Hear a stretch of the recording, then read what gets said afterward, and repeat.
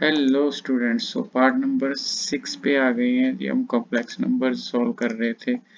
और बेसिकली हम जो मैक्सिमम क्वेश्चन पीयू में है, वो क्वेश्चंस डिस्कस कर रहे हैं कि जो पहले पीयू में आ चुके हैं क्वेश्चंस और मोस्ट एलिगेंट क्वेश्चंस हैं, वो डिस्कस कर रहे हैं। तो ये क्वेश्चन है ना एटा eta Etah up to infinity तक जा रहा है। और बोला प्रिंसिपल वैल्यू ओनली कंसीडर इसका मतलब है टू एन पाई एटा नहीं ऐड करना हमने। तो इस क्वेश्चन को हमने बनाना है। सो ये क्वेश्चन बहुत ज़्यादा वारी जो है ना, वो पी में आ चुका है। सो इस क्वेश्चन को ध्यान से देखो। ठीक है, अगर आपने क्लास में किया तो श्योरली आपने किया होगा। तो ये देखो ना, अगर eta eta eta a up to infinity इसकी वैल्यू ए प्लस बी है तो इस सारे की वैल्यू बी क्योंकि इन्फिनिटी में एक एटा कम नहीं हो सकता सो इस सारे की वैल्यू भी ए प्लस एटा बी ही आएगी। यहाँ पे ए प्लस एटा बी हो जाएगा। ठीक है जी? सो अब मेरा ख्याल है आप समझ गए होंगे कि ये सारे योटे मिलके ए प्लस योटा भी अगर मैं इसे एक को छोड़ भी दूँ तो भी ये up to infinity a plus iota भी होगा। सो इसको हम ऐसे लिख सकते हैं। फिर हमने क्या करना है? दोनों तरफ़ लॉग ले लेना। लॉग ए प्लस योटा भी हो गया। यहाँ पे हो गया लॉग ए प्लस योटा भी हो गया।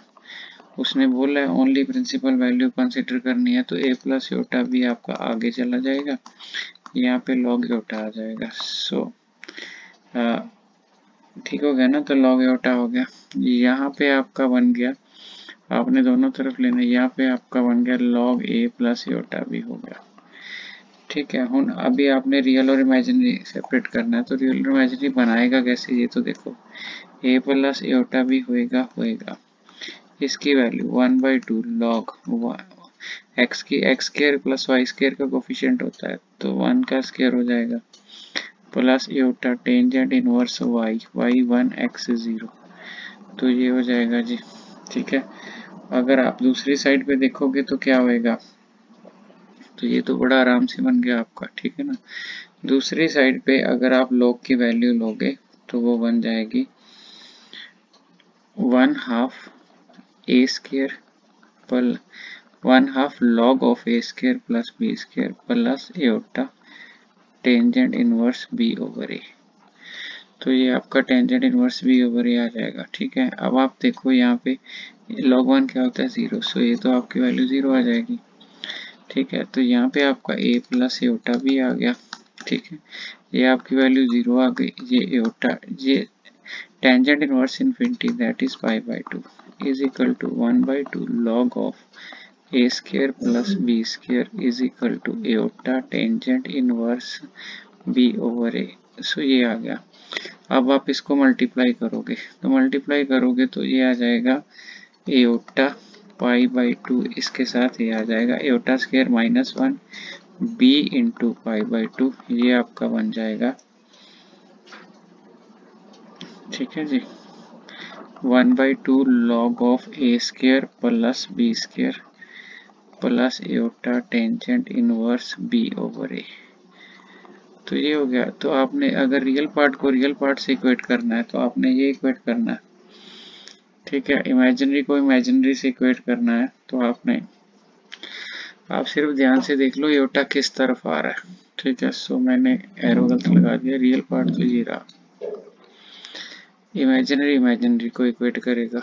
तो अगर रियल पार्ट रियल का इमेजिनरी आप इक्वेट करोगे तो pi by two a iota तो होता नहीं है इमेजिनरी में लिखना। So pi by a is equal to one by two log of a square plus b square तो ये हो गया। तो ये अपना पार्ट हो गया जी। ए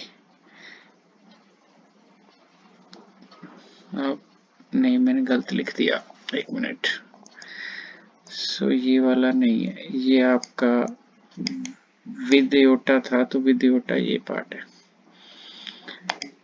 सो ध्यान से देखिएगा जी एओटे वाला पार्ट ये सो ये tangent inverse b over a हो गया आपका। सो बी ओवर ए हो गया तो इधर आप टेंजेंट को ले आओ। तो जब आप इधर टेंजेंट ले आओगे तो पाई बाई टू ए इधर टेंजेंट आ गया तो that is b by a अगर आप देखोगे तो आपका पहला रिज़ल्ट बन गया। ठीक है? तो दूसरे वाले रिज़ल्ट के लिए आपने क्या करना है? आपने बिना यूटे वाली देखनी है। B pi by two is equal to one by two log a square plus b square तो वन बाई टू तो आपका कैंसिल हो जाएगा। लॉग हटाना हो तो एक्सपोनेंशियल हो जाता है। B pi is equal to a square plus b square ये बहुत ज़्यादा एलिगेंट प्रूफ है। ये क्वेश्चन आपकी बुक में भी होगा, आपने किया भी होगा, पर ये मेथड सबसे इजी है।